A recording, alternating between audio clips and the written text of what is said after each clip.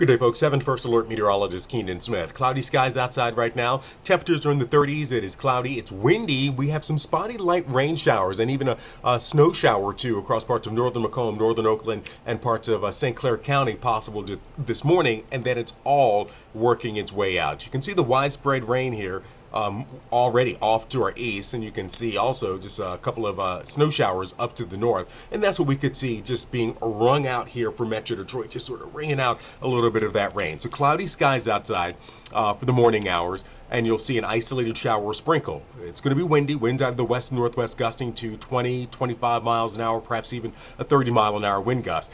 Any clearing you see will be late in the day, but even this is aggressive. We'll see partly uh, cloudy skies for the second half of the day. We'll clear out overnight tonight. That allows temperatures to drop down towards 30 degrees and uh, 20s in some spots before we start to see a, a wet weekend tape shape, take shape. Today, look for high near 44, cool and windy, some clearing late today. Tonight, we're down to 30 degrees, mainly clear, patchy fog possible in the pre-dawn hours. Here's a look at your forecast for the weekend and beyond. 49 degrees Friday, but uh, we'll have a chance at rain building in late in the day. Saturday, uh, 50 degrees uh, for your high, but that occurs by midday. It's going to be windy and wet. Then a cold front comes in. We'll have falling afternoon temperatures. Sunday down to 34 degrees, perhaps a couple of uh, snow showers around, 20% chance at snow. Then cool and clear for Monday with a high near 41.